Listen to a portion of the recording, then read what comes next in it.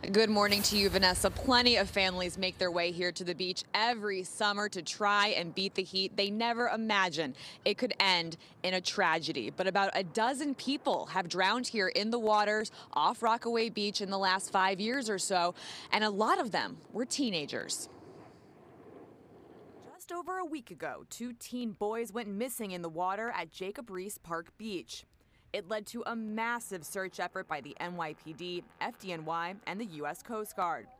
Police say the boys tried to jump over a big wave and then never came out of the water. Over the weekend, two bodies were found on nearby beaches, but have yet to be identified as the missing teenagers. The boys went missing just after lifeguards went off duty around 6 o'clock.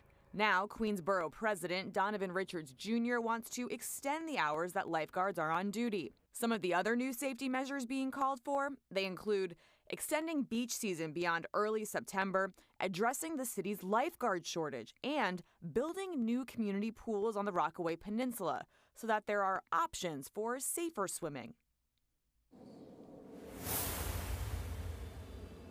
Back out here live, the Queens Borough president and other elected officials will be here to make the call for these new safety measures. Around 10 o'clock this morning at a media event, WPIX will be here to bring you that as it happens.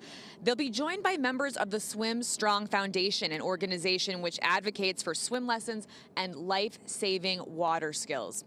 At, the, at Rockaway Beach this morning, I'm Julie Millay, Pix 11 News. All right, Julie, thank you so much. And speaking of which, with many of us likely to head to the pool or beach this week, here are a few safety tips to keep you safe around the water. If you are swimming in open water, such as an ocean or lake, kids should swim with a buddy or be supervised by a lifeguard. They should also learn about limited visibility and uneven surfaces, currents, and undertow, which can pull them under the water and away from the shore and watch for posted water hazard signs. If you are swimming in a backyard pool, experts say learn to swim first. Young or inexperienced swimmers should use a Coast Guard approved life jacket and stay away from pool drains or suction devices, which could trap swimmers' hair.